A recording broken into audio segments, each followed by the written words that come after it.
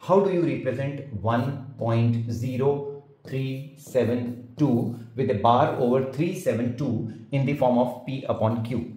I know you will be following the traditional method which will consume at least 2 to 3 minutes and one page of calculations. So let's do it in 15 seconds time.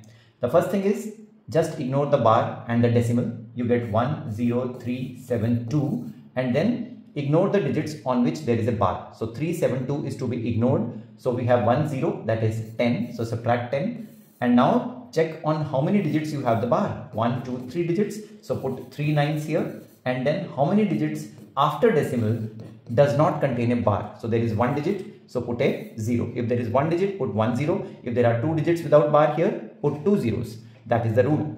Now 10362 in the numerator and 990 in the denominator. We can reduce it uh, to the lowest form. So I think they are divisible by 2. 5181 divided by 4995.